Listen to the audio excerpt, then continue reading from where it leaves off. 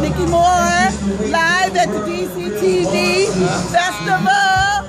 We got all kinds of stuff going on out here. You see the DCTV crew behind me. I got the Just Jokes gang right here with me.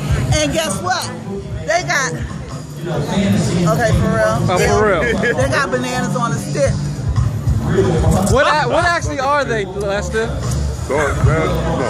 You want to look at my banana on the stick? And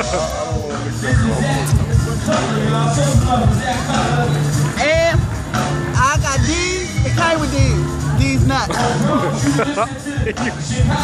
You are really sucking that banana. You choking on bananas. It's time to go. I should have did that in. They like that, Your right? teeth might fall out. and that's a wrap. Catch us next week.